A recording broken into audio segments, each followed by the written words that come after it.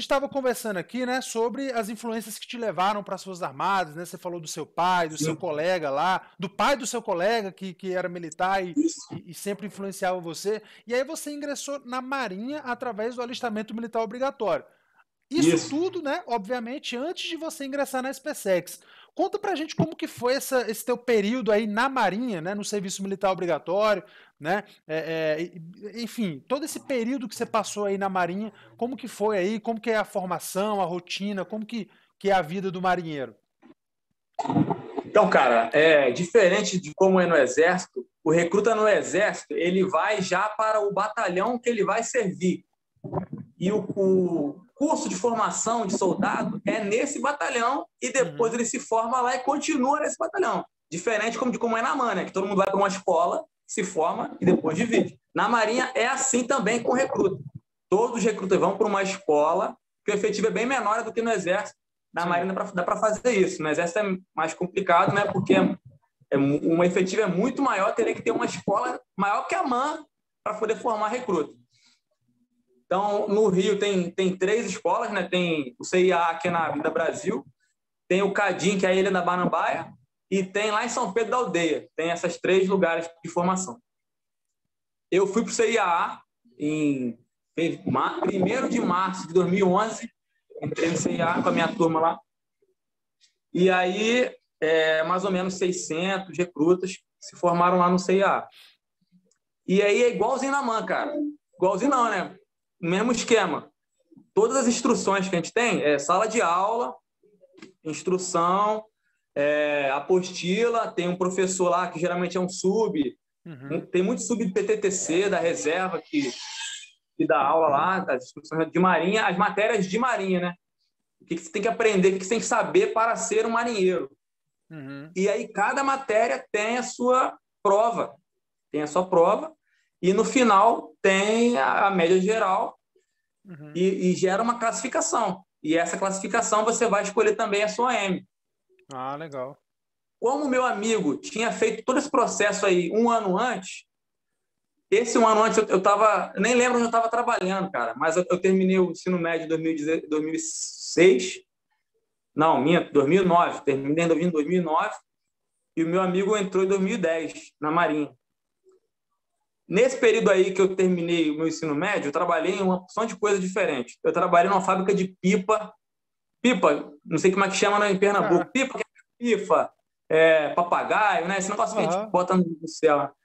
Cada mil pipas, a gente ganhava 15 reais. Eu trabalhava Caraca. nesse lugar aí. Caraca, sinistro. Depois eu trabalhei também numa fábrica de mochila. Isso aí foi legal. Fábrica de mochila que eu aprendi a costurar com máquina. Né? Isso aí depois na Marinha foi bizu para mim. Aprendi a costurar na máquina, né? Para fazer mochila. E estava na escola ainda. Depois eu trabalhei na padaria do meu tio, vendendo pão lá, meio período. Nesse meio período aí, eu trabalhava na padaria do meu tio, fazia cursinho preparatório para a ESA. Nesse ano, inclusive, eu não fiz a prova da ESA, só fiz o cursinho preparatório. E fazia natação também, porque eu era treva de natação, fiz seis meses de natação, era muito treva e também dava aula de violão em diversos lugares. Eu ganhava, eu praticamente, minha, minha adolescência, eu me sustentei com aula de violão, em igreja, em escola. Aí o meu amigo entrou na Marinha, né? Ele começou a me contar. Não, é maneiro, cara. Pô, tem. Ó, hoje eu fiz TFM, hoje eu fiz Ordem Unida, aí teve instrução de regulamento de continência, e é assim que faz. Controle de avaria do navio, como é que faz no navio? Um torpedo bateu no navio, aí tá entrando água, como é que faz? Ele ficava me contando, o cara vibrando, né? Primeiro ano ali de recruta, me contava muita coisa. No ano seguinte, quando eu entrei, inclusive, eu só entrei por causa dele. Porque, como o efetivo é muito pequeno, tem que ter peixada. Não tem como, tem que ter peixada. E aí acaba que tem recruta que é peixe de, de, de coronel, de, de, é coronel não, né? comandante de, de, de fragata, uhum. capitão de fragata, capitão de corveta, almirante. E o meu, a pessoa que eu conhecia né, era primeiro sargento, então não, conhecia, não conseguia, não. Primeiro sargento não conseguia botar peixe, não. Só que o meu amigo acabou que ele, ele foi trabalhar na sessão de seleção dos recrutas. Oh. E ele pegou, ele pegou a minha ficha e colocou na ficha do, Aqui tá aqui, ó, quem vai, quem não vai. Pegou a minha ficha do quem não vai, botou no que vai, e foi assim que eu consegui entrar. Aí, Excelente. cara, eu já tinha acabou que eu já tinha visto muita coisa das matérias que eu estava aprendendo, eu já tinha visto. E uma coisa que me influenciou também muito, eu acabei que fui o primeiro colocado do, do curso de formação. Teve tem um curso de formação de três meses, né? E eu fui o primeiro colocado. Não porque eu sou inteligente, não porque eu sou gasoso, nada disso, cara. Tenho certeza que você já teve essa percepção na mão. O 01 é o cara que quer. Porque não tem muita gente que quer. Tem cinco cara que quer. E o resto Exatamente. não quer. Né? Cara, Brasil, pô. Se eu tirar, se eu for o último colocado, eu vou ser marinheiro igual. Então, não, né? é o cara que quer estudar e se dedicar para ser zero, né? É, Porque... e, e meu pai, cara, o meu pai é muito, sempre foi muito rígido comigo.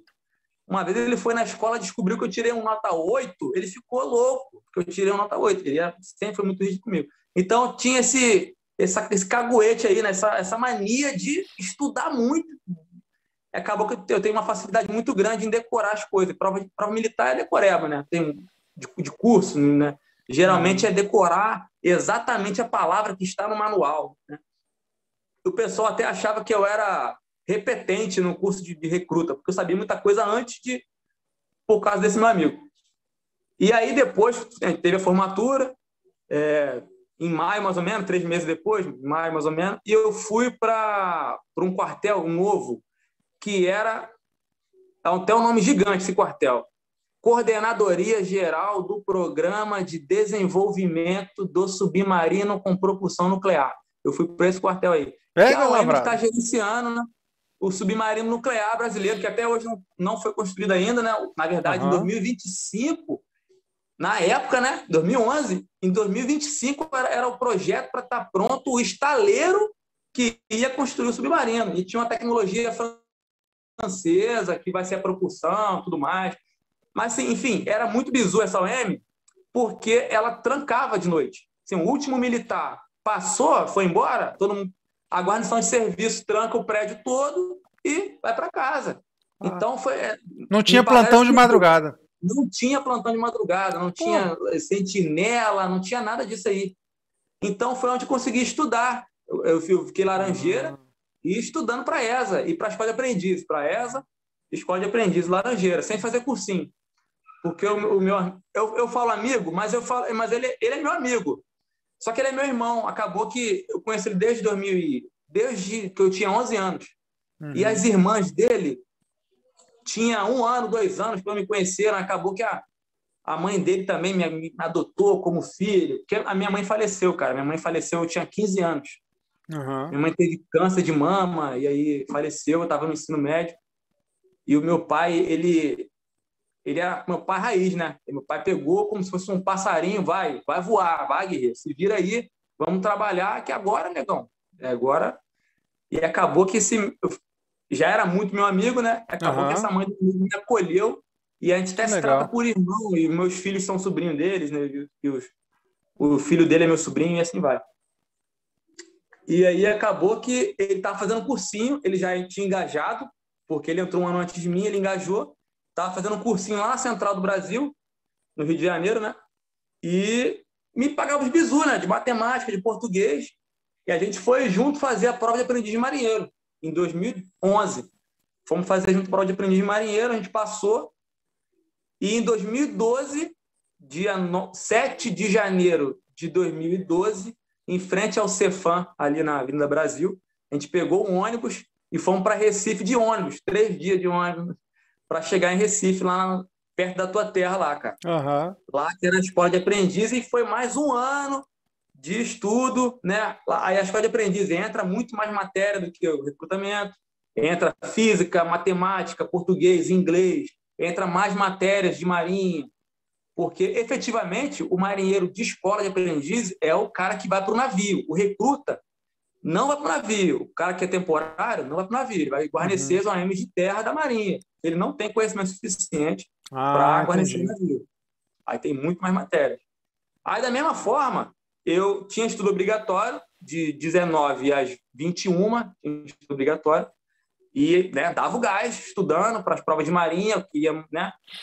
Eu tinha sido 01 no recrutamento, e de 21 a 0 hora eu estava estudando para EAR, que é a Escola de Especialidade da Aeronáutica, né? Sargento da Aeronáutica, e para a ESA também. Tinha estudado para a ESA antes de ser recruta, tinha feito um cursinho que uhum. me deu alguma bagagem ali de português, matemática, história e geografia. E como na, na Escola de Aprendiz tem física, inglês, matemática e português, são as matérias da EAR. Aí eu pensei, pô, vou unir o útil ao agradável, uhum. já que tem essas matérias aqui, tem os professores aqui, eu vou estudar também para esse concurso. Eu estudava até meia-noite, eu dormia de 0 às 5, mais ou menos, todo dia. Estudo obrigatório, eu estudava para as matérias da, da, da formação, né? Uhum. E depois eu estudava para a EA e para a ESA. E aí eu fiz esses concursos e eu fui 01 da escola de aprendiz também. Fui primeiro colocado também. Até hoje eu tenho até duas medalhas que eu uso até hoje na, no, no, uniforme, né? porque tem essa. Não, não importa se o cara ganhou em outra força, transferiu de força, é só republicar e o cara pode usar na. na... Eu usei desde a SpaceX eu usava essas medalhas. Nossa. E o pessoal fica, nossa, eu, eu paguei pra caramba por isso aí, cara. Paguei pra caramba. Então, os caras de fantaria do quarto ano, que parada assim aí no teu peito aí? Caraca, aí pagava. Mas depois acabou que eu virei peixe deles aí, foi até barbizu. Uh. E aí acabou que eu também passei, não passei na EAR, na, em 2012, e passei na ESA. Passei na ESA em 2012. Só que eu vim para o Rio, fui transferido, escolhi a OM, né? Acabou o curso, né? Gera aquela classificação. Escolhi grupamento de mergulhadores de combate. Para quem conhece aí o Grumec, fui para lá. Caraca, que OM espetacular, cara. Pô, é mais exército que marinha lá, cara. Tem guerreiro de selva, todo mundo é paraquedista, tem dompsa, tem precursor paraquedista, tem, tem de tudo, cara. Muito, muito maneiro. Uhum. Acabou que foi assim. É, era, é, não é uma das melhores para estudar. Para estudar não é uma das melhores, porque você participa das missões. Mesmo assim, deu certo. É, eu fui para lá e eu chegando no Rio, quando eu cheguei no Rio, que saiu o resultado da ESA, ó, aprovado. Só que eu tinha que entregar documentação lá em Recife e deram dois dias de prazo. Aí eu ia, cara, não, pô, não vou, cara, vou comprar passagem agora para ir para Recife. Aí, não, vou fazer de novo esse ano, não vou, não vou, não. Aí não fui, cara, fiquei lá. Porque você fez a aí, prova da ESA lá no Recife. É, fiz lá uhum. em Recife. Aí eu comecei, entrei na bola de neve, cara, igual a gente fala na Pô, não, é pra, e, e para você ver que é, é, é e para você ver que é, não era para ser mesmo, porque na bucha.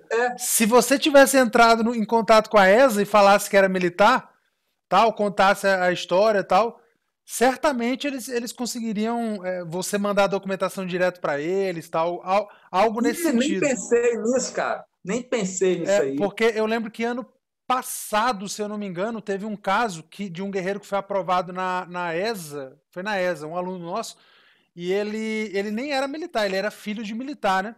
E aí o pai dele foi transferido, aconteceu essa mesma farofa aí, né? Ele tinha uhum. que apresentar a documentação e deu certo.